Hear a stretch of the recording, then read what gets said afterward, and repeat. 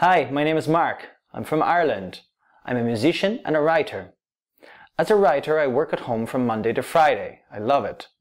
I usually bring my son Paul to school. Then I go home and I start writing. Working at home is really good because it's relaxing.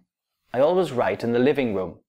I prepare a cup of coffee with milk, I listen to music, and I start working on the computer. I usually write from 9 to 1. Then I cook lunch and set the table. I always eat lunch when my wife Anne and my son Paul get home. I rehearse four times a week in the afternoon with my band. The band is called U3. We play pop music and we are very good. We have lots of concerts at the weekends.